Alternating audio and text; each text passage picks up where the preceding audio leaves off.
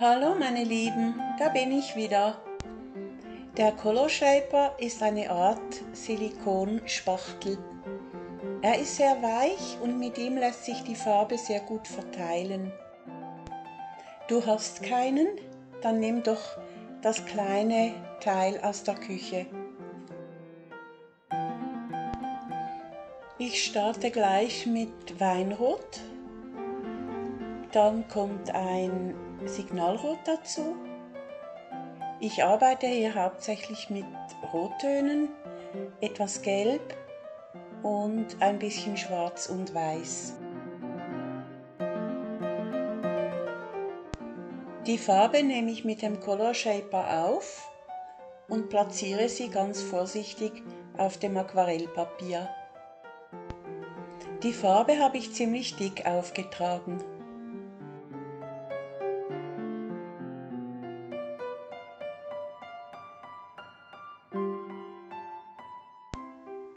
Jetzt fange ich an, die Farben zu vermischen. Ich nehme dazu die Längskante vom Color Shaper oder nur die Ecke und vermische die Farben.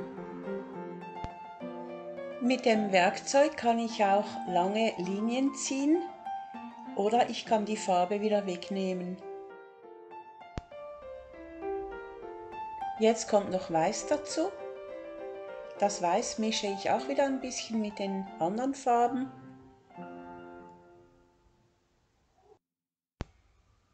Dann begradige ich noch den Rand.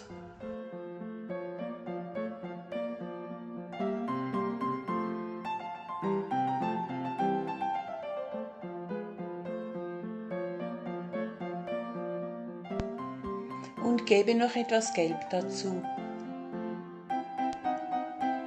Mit dieser Technik hast du mit viel Spaß schnell ein Bild gemalt. Wenn du Fragen zu dieser Technik hast, schreib mir in den Kommentaren. Ich beantworte deine Fragen gerne. Ich freue mich, wenn du das nächste Mal wieder dabei bist. Abonnier doch meinen Kanal dann hast du immer die neuesten Videos.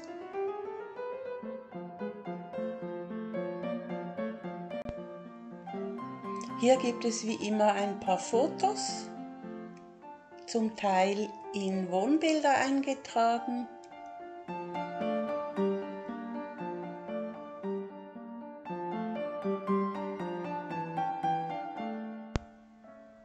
Und wenn du noch mehr Videos von meinem Kanal sehen willst, geht es hier weiter.